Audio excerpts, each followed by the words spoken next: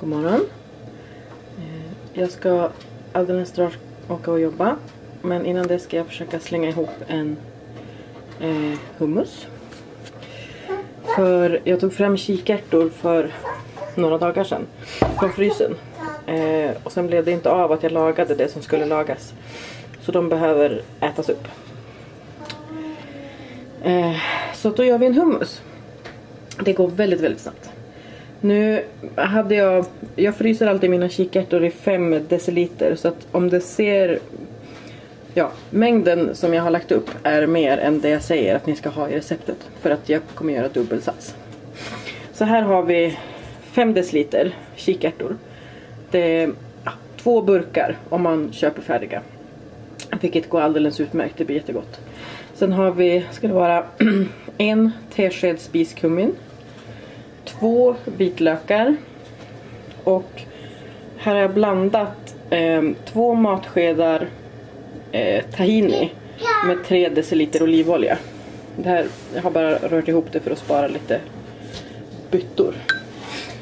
Eh, och sen blandar man bara ihop allt. Man kan pressa vitlök, eller man, den ska antingen pressas eller hackas. Jag pressar därför att det går snabbare. Tid är en bristvara. Pressa vitlöken, blanda allting här i, kör med mixern tills det har blivit en slät massa. Sen är det färdigt. Det är, går jättefort att göra.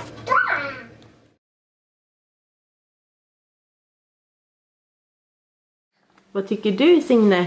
Vad tycker du om... Ja, den tycker du. Vad tycker du om hummus?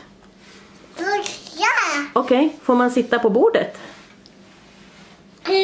Det var det jag. Nu har jag bara blandat ihop allting och pressat vitlöken. Jag använder en vanlig stavmixer för att den är enklast att rengöra sen. Hos oss är allting som sparar tid och gör det lättare är.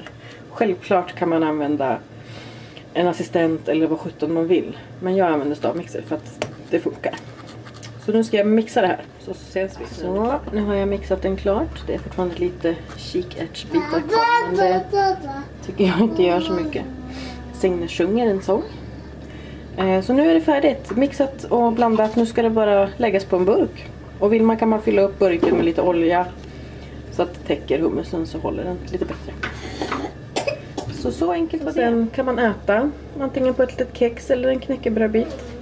Det är gott och det är fullt med proteiner så det är jättenyttigt. Det är olja och sånt i men man måste ju inte äta hela bunken.